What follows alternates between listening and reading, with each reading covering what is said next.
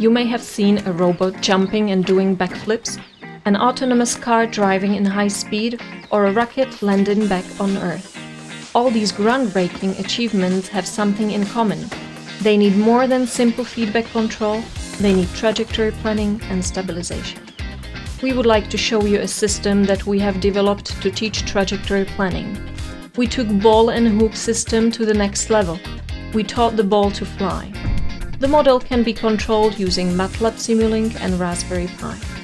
The model is composed of several components. The hoop is driven by our open design motor driver and a brushless motor with an absolute magnetic encoder. The outer and inner hoops consist of rubber O-rings and several 3D printed parts. The brain of the model is Raspberry Pi, which can be easily interfaced with Simulink and which communicates with the motor driver. For position feedback, we're using Raspberry Pi camera with light scavenged from LED bulb. And finally, the last piece is a small control panel. Controllers running on Raspberry Pi can be designed and tested right from Simulink. This is a basic control scheme. The free running script in Python detects position of the ball and sends it to the Simulink through shared memory with sampling frequency 50 Hz. We estimate all the states of the mathematical model. First we equalize delays of all measurements, then we estimate the delayed states by an extended Kalman filter, and finally we compensate for the delay. The communication with the motor driver is implemented as a system object. We can send a requirement on a desired position or torque and read back the measured angle, velocity and current. Here we use a simple static state feedback for stabilization of the ball on the outer hoop and controlling position of the hoop.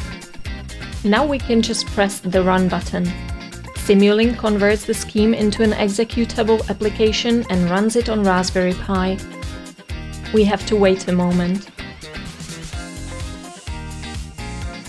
Furthermore, we can change the desired angle of the hoop in real time and see the measured signal in the scopes. This is how the simplest state feedback controller looks like. When we want to stabilize a trajectory of a flying ball, the scheme gets a bit more complicated.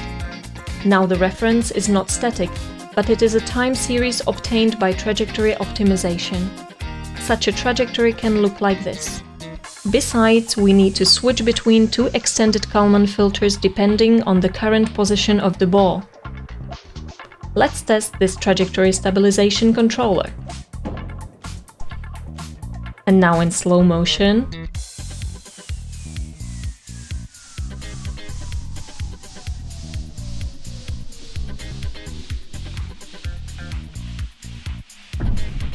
So this is our flying ball in the hoop and you can build one of your own because the design is open.